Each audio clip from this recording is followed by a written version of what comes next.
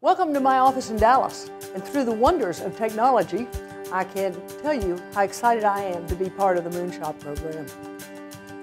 Technology is what's going to take us all forward. It's going to take cancer research forward. It's going to take our entire lives into a whole new world that we don't know about.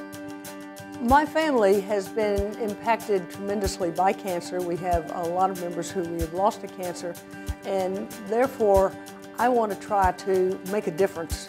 I want to try to help find solutions to the mystery that is cancer. And with the Moonshots program, I really like the fact that they are going across silos, that they are doing something different because research needs to have a new look. It needs to have a new approach somehow. The Moonshots cross-discipline approach brings more minds to a problem. And I happen to think when you get more people working together, you're going to come up with solutions better than people working in silos. That's one of the aspects of it that I'm really excited about. Since my first mastectomy over 31 years ago, we now have the word prevention.